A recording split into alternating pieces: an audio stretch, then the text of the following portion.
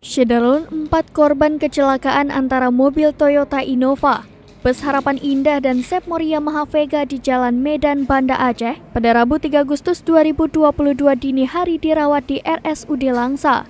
Sedangkan satu orang lainnya yang sebelumnya dirawat di RS Langsa, Indra Dwi Cahya, berusia 20 tahun harus dirujuk ke RS Putri Bidadari Sumut karena mengalami pendarahan dan muntah darah.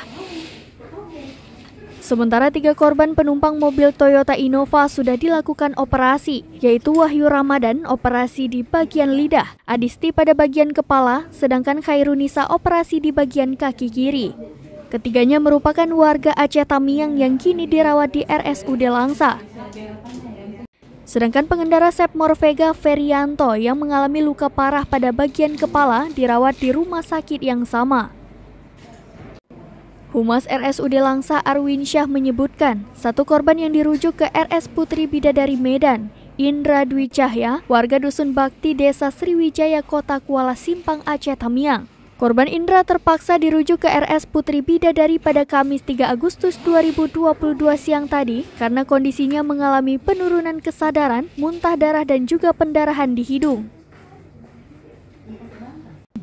Kecelakaan lalu lintas di Jalan Medan Banda Aceh, persisnya di Desa Aramiah, Kecamatan Birembayan, Aceh Timur, pada Rabu 3 Agustus 2022 dini hari ini melibatkan tiga kendaraan.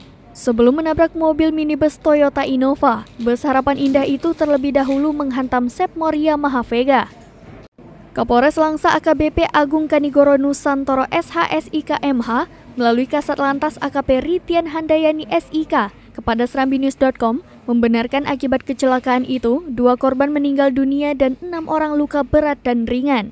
Kasat Lantas menjelaskan, korban yang berada di mobil Innova ada tujuh orang, termasuk dua orang meninggal dunia dan satu korban luka berat adalah pengendara Yamaha Vega.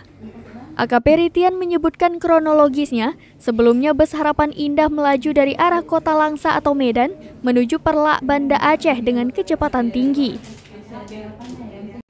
Sedangkan sepeda motor Yamaha Vega melaju dengan posisi di depan bus dengan kecepatan sedang.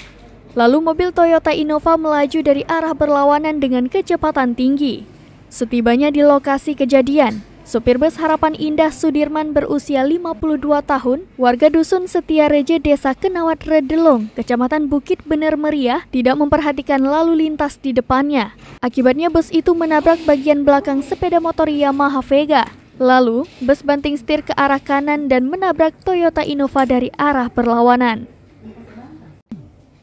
Dari Langsa, Zubir, Serambi On TV.